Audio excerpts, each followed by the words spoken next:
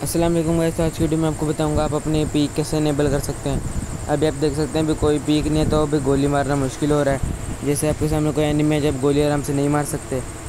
तो अब मैं बताता हूँ आपको सही तरीका नहीं है। सही तरीका जो है, आपने सबसे पहले तो सेटिंग के अंदर जाना है। फिर यहाँ पर आपने थोड़ा नीचे करना है, पर आपको जो है पीक सेटिंग इसको आपने इनेबल कर लेना है। फिर ये जो पीक पीक मोड है, इसे टैप पे रखना है। पीक और ओपन स्कोप को भी इनेबल और डिसेबल के ऊपर रखना है। और कैमरा रोटेशन को भी उसके ऊपर रखना है डिसेबल के ऊपर। उसके बाद मैं आपको दिखाता हूँ, अब हमने पीक इनेबल कर ली है। अभी आप देख सकते हैं लिए मारना कितना आसान और हम साइड में पीक लेके मार सकते हैं आराम से। अभी आराम से हम इधर देख सकते हैं कैसे मार सकते हैं इसे। कोई भी नहीं है आपके सामने आएगा, हम उसको पीक लेके आराम से मार सकते हैं। और उसके बाद ऐसे आप देख सकते हैं, हर चीज़ आसान हो जाती है पीक के साथ। तो ये तरीका है पीक इनेबल करना अगर आपको वीडियो पसंद है, वीडियो को लाइक और चैनल को सब्सक्राइब कर लीजिएगा।